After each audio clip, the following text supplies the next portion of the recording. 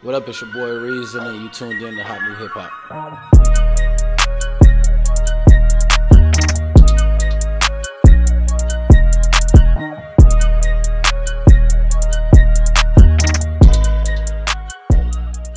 Growing up in uh, Del Amo, um, I was actually born in South Central, but I moved to Carson uh, at a young age, so uh, it just gave me like a childhood, the, the chance to actually do uh, other things. In South Central, I couldn't really go outside, didn't really have much freedom. Uh, so Carson is kind of like that that mix of uh, of the hood in a way, but still, you know, good enough for you to be able to get out and and do things. Whether it's uh, uh, not having to be back by a specific time or whatever the case may be, or or uh, catching the bus to school instead of getting a ride. Just really giving you like the freedom to be able to actually have a childhood, but yeah, yeah, I love Carson. Yeah, I was big, big in sports. Like, um, I didn't get into music until a little bit later in life. Uh, even though I always had music interests, uh, but I was big in sports. I played basketball my whole life. Uh, went to school for basketball. That's how I went to college, um, and uh, just that, and just like kicking it with the homies. We used to just go and do shit, whatever it was that kids would get into and get in trouble for doing it. You know what I mean? But uh, yeah, heavily in sports. I played uh, basketball. My brother played football. Uh, I actually double majored in business management and sports management. I thought I was going to be a sports agent, and then I figured out I had to go to law school, and that was out. I was heavily into so my parents didn't let me listen to rap like hardcore rap until I got old enough to just sneak and listen to it, and they gave up on that. Um, but the first person I got into was Ludacris though, and that was like around Chicken and Beer. So that was like my favorite, favorite.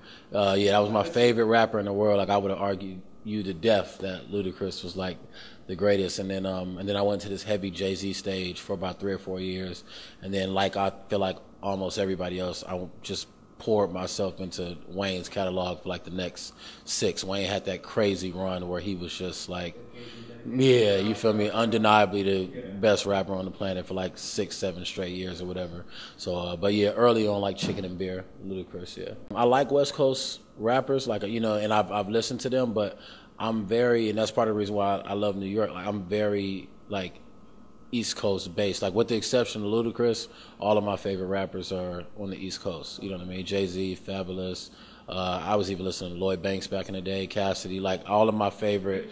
Yeah, like yeah, yeah. That's what I'm saying. Like I, I listen to people that had bars, and I feel like West Coast music has always kind of been more about like the the swag and the the feel of it because it's like it's like LA. You know what I'm saying? It's like it's chill, it's smooth. Like that's kind of what LA is in a way. And so um, I started rapping like four years ago. Uh, I was in uh, uh, I was in Iowa. That's where I played ball at.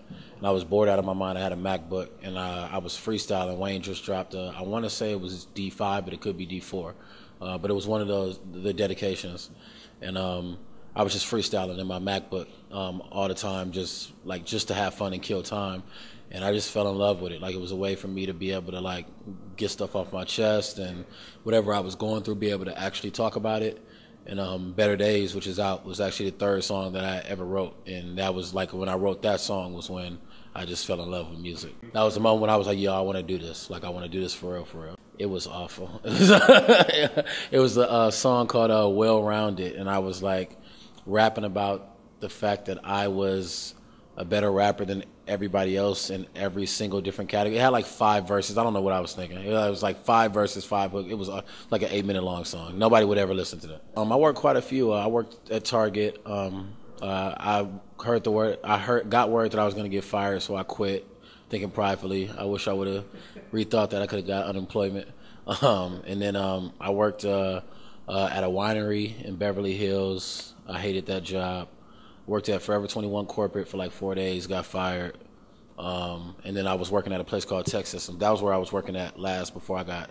Yeah, now I actually loved that job. Like I, that, I thought that's where I was gonna be. Uh, when I first got signed, Top put us all um, in this studio in Santa Monica, and um, he told me like, "Yo, you need to be in there every single day." So I was in the studio like every day for like two months straight, and um, uh, Dot was always in there, but I never knew what he was doing though. He would just be sitting in the studio, and I was just like, "What the fuck is he doing?" But I, he was just like there listening to music, and at this point, I didn't know he was working on the Black Panther album. I would just walk in there and hear beats and random artists and be confused, but it's Kendrick, so I'm not gonna ask any questions. You know what I mean? And then uh, one day, Top came by, and um, uh, he told us that he was working on the Black Panther soundtrack. I was like, oh, okay, that's crazy. And then uh, we were in there till like four in the morning. Usually Dot used to leave around twelve or so, and he was just there. And I so I went in there and I just asked him. I was like, "Yo, what are you, why are you here? Like, why you just been laying on the couch with Sounwave for like three hours? What are you doing?" And he was just like, uh, "You know, I'm working on this." Uh, I'm working on this this soundtrack. I'm trying to turn it in, but this rapper, you know, I won't say his name, hasn't turned in his verse yet. And I was just like, oh, okay, cool. And I went back to the studio to pack up. And then next thing I know, Top is walking in with a hard drive, and it was just like, yo, play this, you know, play this. And I played it. I was like, that's crazy. He was like, yeah, if you can put a verse on it, like within the next two days or so, then you know maybe you can potentially make the project. And so instead of packing up, we unpacked everything. I did my verse right there, like within the next 20 minutes.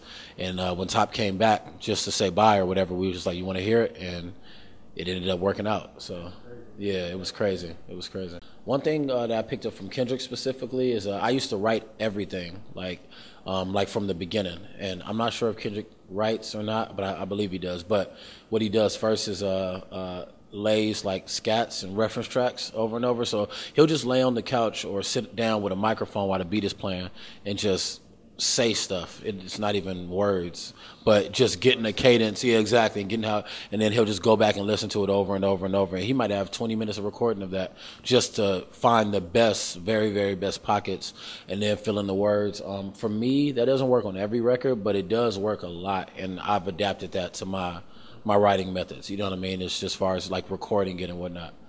Definitely, just because of like the the the family type feel of it. Like I had um, other label uh, meetings or what, whatnot uh, beforehand. Uh, TDE kind of came honestly out of nowhere and it happened quick. Like I met uh, Moosa from TDE, and then like a month later, I was signed. Like it was very fast. It was very fast.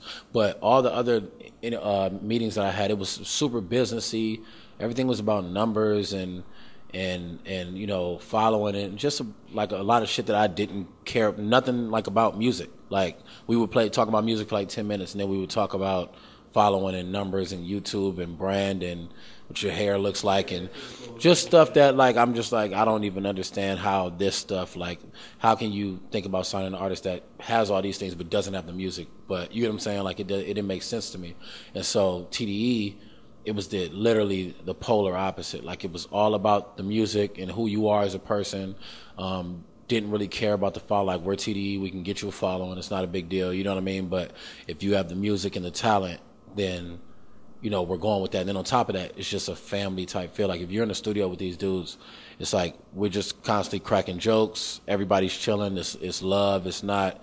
You don't feel like you're at work. You don't feel like you're trying to make somebody like you for whatever reason. It's just a very, very family type feel label. Everybody just gets along and it's cool. And then also TD is very, very competitive, which I like. Um, it's it's a supporting competitive way where we all support each other, but you're still trying to exactly you're still trying to like push each other. And I think that that's a big reason why they've succeeded over the years is because everybody pushes each other. Yeah, man. Top is is man. Top is a, a, a funny but like amazing dude just as far as like the things that he's been able to accomplish. But when I first met with Top and I played him music, we played music for like an hour and Top did nod his head once. He was just on the phone, texting. He would like reach over and tell Moosa a joke and I'm like sitting here nervous, sweating, like playing my best music that he's not nodding his head once. And then I play one record and he puts the phone down, he starts nodding his head. So at the time, I'm like, okay, cool, he likes this record, but I'm also thinking, okay, this is the only record he likes. Like clearly, I'm bombing this interview, whatever this is. Uh, but uh, and then I left, he ended up texting Moosa later, telling him like, like, no, I really like that kid. But I think that that moment really, really kind of shows who Top is, just because he's very, he's always like strategy and two, three steps ahead. He's never gonna let anybody have like the the advantage over him or his business or the artist. So not to say that he was trying to have the advantage over me, but he was he wasn't going to give me too much in just me being able to read him. You know what I mean? And I think that that's the way that he moves his label. Like you never really know what's going on with TDE until they want you to know. It's very strategic. It's very um, um, uh, focused on being two, three steps ahead. You know what I mean? And I think that's why he's had success the whole time. Uh, I'm working on a, on an album, but Top really felt like it was important for people to understand why he signed me.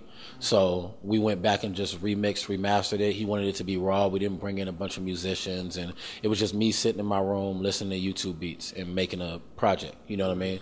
Exactly, the real story. And so he wanted the fans to be able to see that and understand why they signed me. So the project that on there you have it, all YouTube beats for the most part. It's a couple producers that I actually knew, and um, and we're gonna re-release that, and then in the meantime, I'm still putting the finishing touches on my album, so that way that can be like the first TDE production that we release. I think you're gonna be able to a see a lot of growth in it, um, but also I think it's gonna be very very soulful and story driven, if that makes sense. Like soulful, very real. I think it's going to be very uh, visual. Um, I think when they listen to that Reason Project, you're going to be able to, with almost every record, see stories or a part of your life that maybe you could relate to that went with that. A lot of the, the records are very, very visual, whether it's a turn up record or it's just a, a you know, natural boom bap record. It's very, very visual. A, I like uh, things that sound like real instruments. Like um, I don't I don't like uh, like stuff that doesn't sound like the authentic. Even if we're gonna play it through a computer, of course. I really like soulful type, like church type. You know what I mean? So any record I have, they don't all sound like that, but they have some type of feel to that. And then I've been working with some great uh, producers, uh, Kal Banx, uh, DJ Swish. I'm really excited for uh, people to hear the stuff with me and Swish just because he works with uh, YG a lot, and I think that people have the misconception that like Swish is like a like he plays everything. Like Swish, yeah, exactly. Like he's not just this you know DJ that can only make one sound. That's what I'm trying to say. Like he can he can really play. So I've been working with a lot of dope dope producers that you know and being in there from the beginning i never did that before like i used to just grab the beat i'm now actually there while they're creating. So that's a whole nother process. For me and Swish started off cooking up in a, a garage in Compton, and we were making music. And then Swish kind of took off, and he would still work with me. But I even told Swish because you know you're trying to grow your career, and if I'm a real friend, you can't be spending seven hours with me when you're trying to, you know what I mean, and stuff like that. So I just pretty much told him like I'll, I'll catch up. You know what I mean? Like when you got stuff, send it to me. But I get it. Like I'll catch up to you. So it was crazy to be able to double back three years later, and it makes sense now. You know what I mean? So that's my guy. Uh, I want my legacy to be five years down the line. Of course, I want to be a household name. I want to be uh, uh, one of the bigger artists in music. You know what I mean? Uh, I'm already on the best label, in my opinion. Um, but the main legacy I want to do is just be somebody that people know a gave them truth, but also I want to really be an advocate for pushing other artists to work with each other. I feel like uh, in music, sometimes there's this crab in a barrel mentality. So I really want to be the one. I, it would be a big legacy to me if, in five years, there were six up and coming artists that everybody was going crazy about, and four of them people first heard because they did a record with me, if that makes sense, or because I shouted them out in some type of way. Like I want to be the person to start bridging that gap and giving dudes opportunities because I know what it feels like to be dope and not have a shot. Like and just be sitting there hoping and begging that somebody gives you an opportunity and nobody will because they have this crab in the barrel mentality.